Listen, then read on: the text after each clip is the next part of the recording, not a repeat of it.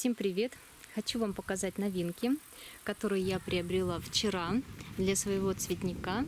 Первая это крупнолистная гортензия «Бесконечное лето». Смотрю на нее уже два месяца и не решалась купить, но по итогу все равно купила. Я когда покупала древовидную Стронканабель и метельчатую фантом, а, я эти гортензии взяла не глядя. И там был еще завоз вот метельчатое «Бесконечное лето» я думала, покупать мне не покупать, потому что все-таки она требует большего ухода, конкретно это укрытие на зиму. Я боялась.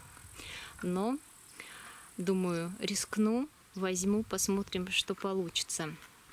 Эти гортензии были приобретены с холодильников, с больших, то есть они привозные, так сказать, не местного разлива.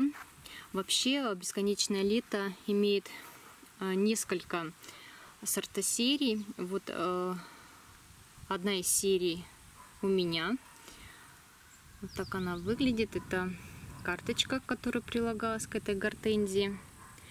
Смотрите, она в высоту 90-120 сантиметров, а по кроне в ширину 120-150. Любит солнечное место, полутень, выдерживает до минус 30 и такой у нее колор. Гортензия «Бесконечное лето» продается в этих знаменитых голубых горшках. Я именно хотела настоящий, э, не пересорт, потому что побоялась. Хотелось именно «Бесконечное лето». Мы посмотрим. Сегодня буду высаживать. И также я приобрела ель, ель э, акракона долго я ее искала, знаете, не потому что ее не продают в питомниках, в каждом питомнике она продается, но они продаются подрощенными и очень дорого стоят. Поэтому искала небольшое растение, чтобы меня устраивало по цене. Замечательная ель, она мне очень нравится, у нее крона такая, знаете, асимметричная, имеет, может иметь несколько ведущих центральных стволов, но говорят, нужно убирать и один оставлять центральный. Я не знаю, я пока этого ничего делать не буду. Она примечательна тем, что на кончиках побегов у нее есть шишки. Они сначала такого малинового цвета, а потом приобретают коричневый цвет. В принципе, такое небольшое растение. Прирост у него у нее от 10 сантиметров в год в высоту и 5-7 в ширину. И в десятилетнем возрасте пишут там от 3 до 4 метров бывает. Ну, самое то, мне такой размер подходит. Буду высаживать. Смотрите, это бесконечное лето. Ну, красота вообще. Когда их только завезли, они были шикарного качества. Сейчас, конечно, листва уже не та, но все равно довольно-таки в хорошем состоянии растения, цветущие. Очень много уже срезано цветоносов. И что самое интересное, что вот когда срезаешь у бесконечного лета цветоносы, то сразу появляются новые. И цветет она прям до самых до самых холодов. Постоянно цветущее растение. Красавец вообще очень мне нравится. Так, и что решила? Думаю, ну куда мне ее высадить? Вот он мой цветник, да? Мои, знаете, что сказали? Говорит, зачем ты сюда высадила эту кривую метельчатую гортензию? Это гортензия Skyfall. Я уже не говорила, что у нее неправильная обрезка, да? Она такая вся кривоватая.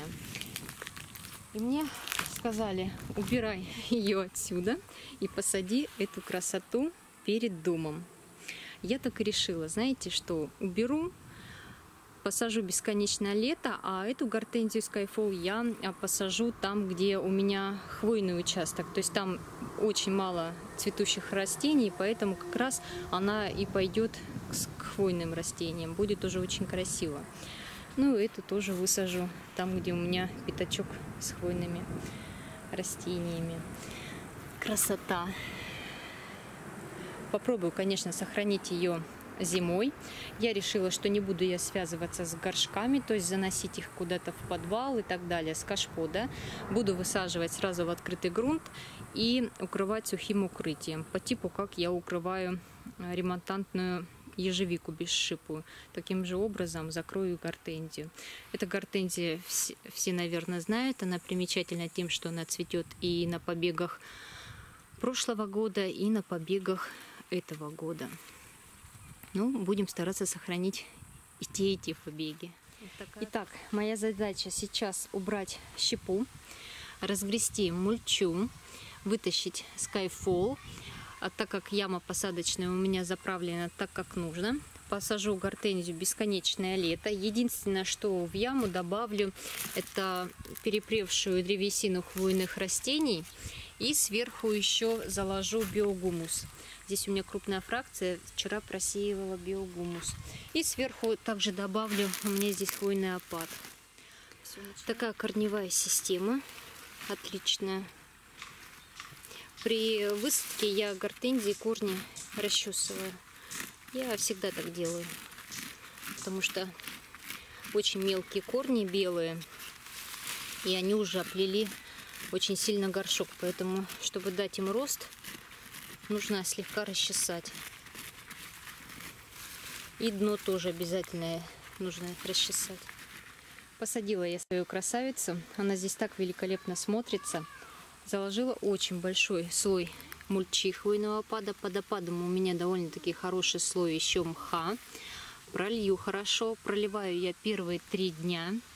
Как моя бабушка говорила, что вновь посаженные растения нужно отливать три зари. Ну а дальше уже по мере подсыхания. Так, теперь идем хвойную часть цветника. Все, закончила я работу, высадила оставшиеся растения.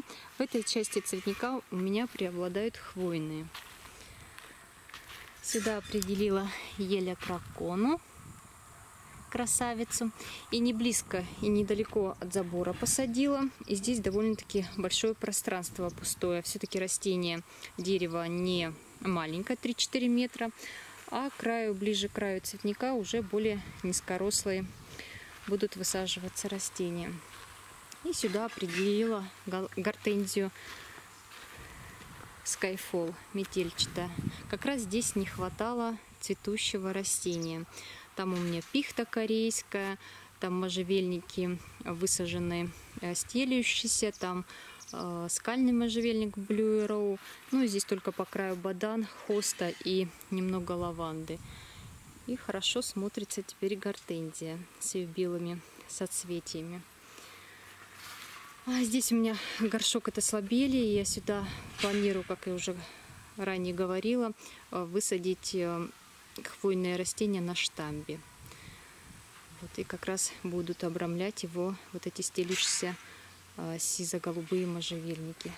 Вот такая у меня красота. Хотела показать еще это ива на штамбе хакуранишики. Все уже ее такие розовые листочки превратились в зеленые. Выглядит хорошо. Я думаю, что она пережилась.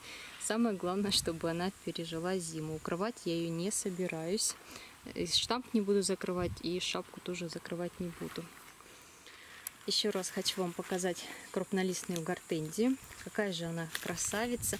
Я жалею, что не приобрела ее в июле месяце, чтобы наблюдать, как она цветет красиво. В общем, когда чего-то хочется, нужно покупать и радовать себя.